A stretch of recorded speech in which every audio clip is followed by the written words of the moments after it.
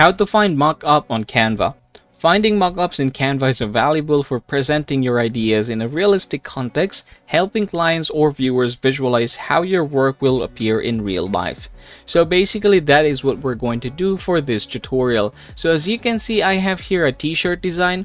Now for this time if you're going to say for example use this for t-shirt design, what you're going to do is you're just going to click share and then from here you're just going to scroll down, you're going to click more and here in the more what you're going to search is mockups.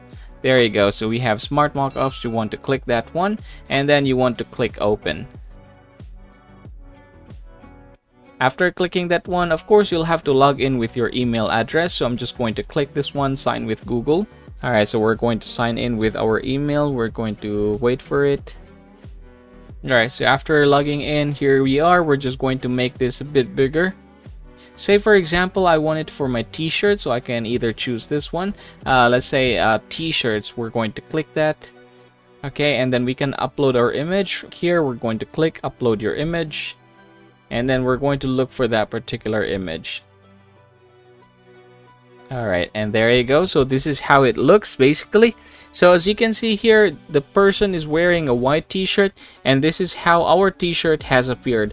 We're going to try and click popular. There you go. So that is how our t-shirt appear if we are going to wear it.